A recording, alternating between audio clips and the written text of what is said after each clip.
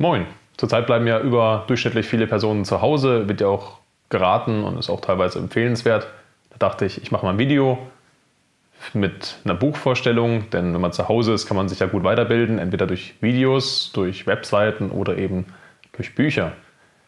Ja, ich habe meine Bücher durchforstet, habe ja verschiedenste Bücher da. Ja, es gibt da ein Buch oder besser gesagt zwei Bücher, die ich besonders hervorheben möchte. Und das ist Sicherheit und Risiko im Fels und Eis. Da gibt es sogar drei Bände. Ich habe jetzt nur zwei Bände da. Das ist von Pete Schubert. Ich werde auch mal unten in der Beschreibung die ISBN-Nummer reinpacken und möchte eben die beiden Bücher ganz kurz erläutern.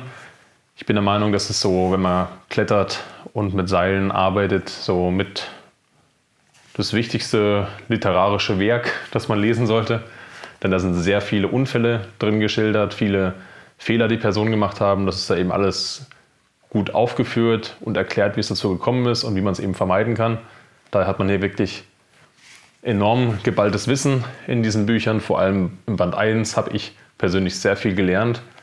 Und so kann man eben das Buch durchlesen und hat dann so gesehen viele Erfahrungen, die man im realen Leben nur einmal machen kann, weil man dann tot ist, sozusagen indirekt gemacht. Magst du nicht ein Beispiel machen?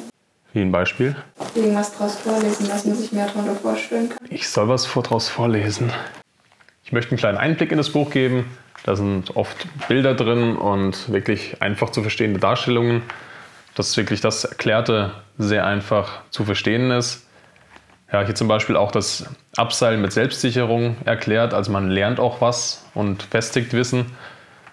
Und eben vor allem Unfälle, Sachen, die Leuten passiert sind.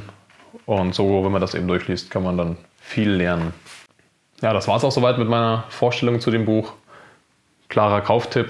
Ansonsten schreibt gerne unten in die Kommentare, was für ein Buch du besonders empfehlen würdest. Da können wir das ein bisschen so als Austausch machen. Können jetzt alle, die das Video anschauen, unten mal in den Kommentaren schauen und finden auch noch weitere Buchtipps aus der Community. Ja, dann danke fürs Anschauen und bis zum nächsten Mal. Ciao.